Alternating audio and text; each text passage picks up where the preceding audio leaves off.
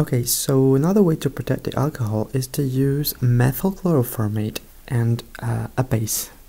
So we form a protected alcohol as um, uh, as a carbonate. Okay, so this is a carbonate in yellow, highlighted in yellow. Okay, so um, the first step of the mechanism is going to is not going to be uh, acid acid base reaction because um, the amine is not very strong to attack to grab the hydrogen of the alcohol. So the first reaction, the first step of this reaction is going to be a nucleophilic addition, followed by an elimination because we're having this Cl.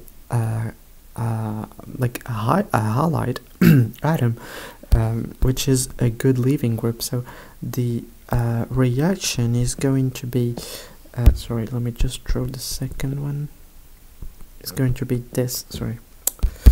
It's going to be uh, the attack of the alcohol on the carbonyl atom. So, on the carbonyl compound, sorry. So, is going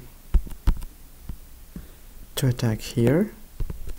We pull electrons and then we go back to um, have a leaving group okay to, so the so that the chlorine uh, leaves. So we have minus Cl minus okay? So we form this compound which is positively charged. And let me draw it again.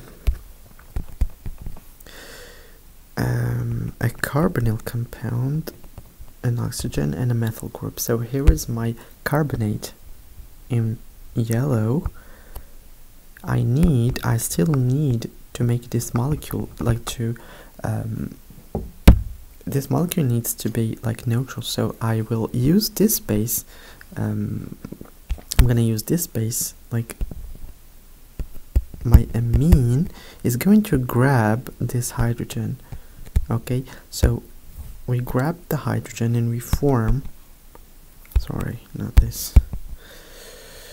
Once we grab a hydrogen we form Ne sorry Et3 H and plus okay? And the ammonium and we form our protected alcohol okay? So a carbonate